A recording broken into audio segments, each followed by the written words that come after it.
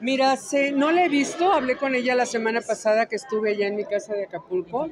Nos íbamos a ver, pero desgraciadamente eh, los bloqueos que están de la gente que está inconforme no le permitieron llegar a mi casa y yo me tenía que regresar.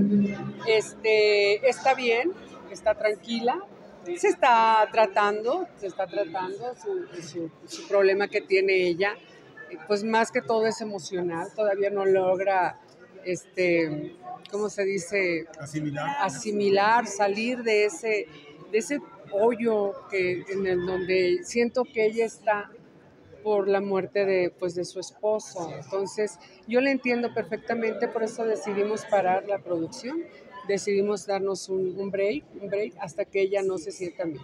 Bien, para mí lo más importante es que Margarita esté perfectamente bien. Entonces ella se está, ha sentido mal, la has visto mal y por eso paraste la producción. Mal así de, de, de que esté en cama, no. Emocionalmente sí. Le duele, ¿no? Sí, le duele, le- sí, le duele muchísimo y yo creo que eso es lo que tengo yo que respetar.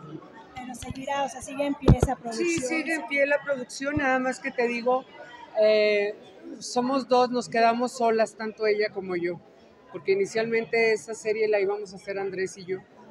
Entonces, desgraciadamente se vino su enfermedad, entonces ya nos quedamos solamente Margarita y yo y, y bueno, pues tenemos que sacarla adelante, salir adelante en cuanto ella esté lista. Oye, con respecto a Leonardo García, que sigue peleando por, obviamente, esa parte del testamento, ¿cómo la has sentido? ¿Cómo la has apoyado? Mira, ella, ella no le da mucha importancia. Finalmente la decisión de Andrés está plasmada en un documento eh, bajo un sello de un notario y con testigos. Entonces, yo siento que no es este no es algo que le importe mucho a Margarita, la. O sea, no está tomando en cuenta, No, tanto, no, no, le mueve algo eso de No, decir, no, no, pues es molesta, está molesta, pero hasta ahí, o sea, no, no es que ella diga voy a tomar venganza, no, no, no, no, no.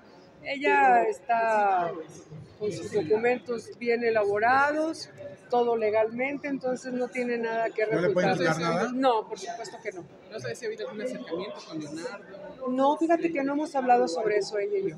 No. De hecho, nunca hablamos de ellos. Ustedes son los que me preguntan de él, yo ni en cuenta. Entonces no teme ella por, por la herencia, ni de que No. a nivel legal. No, no, no, de ninguna manera.